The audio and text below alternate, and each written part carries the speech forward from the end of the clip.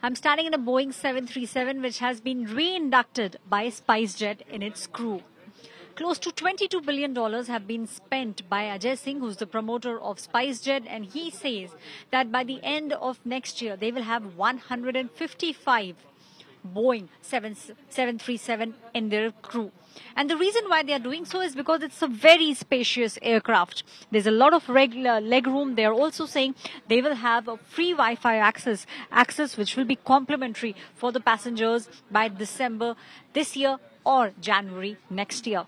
So definitely a new plane, and this also comes after two years. Uh, you know, Boeing in fact had gone ahead and uh, most of the countries had said that they don't want Boeing to be flying across uh, on their lands in their uh, airlines because of two massive accidents which had killed more than 300 people. But now, after more than 6 lakh hours of uh, making sure, of flying hours, of making sure that uh, the aircrafts are safe, Boeing is once again coming back with a bang. And Ajay Singh, who's the promoter of SpiceJet, says that this definitely is a new era for Indian aviation. We are seeing a lot of money being pumped in, and uh, SpiceJet itself is now coming out with, uh, with 150 55 such Boeing 737s, which will be inducted by early next year across the board. And this is what uh, is really making uh, aviation sector buzzing these days. This is Shweta Paliwal reporting for India Today with camera person Pradeep Gupta.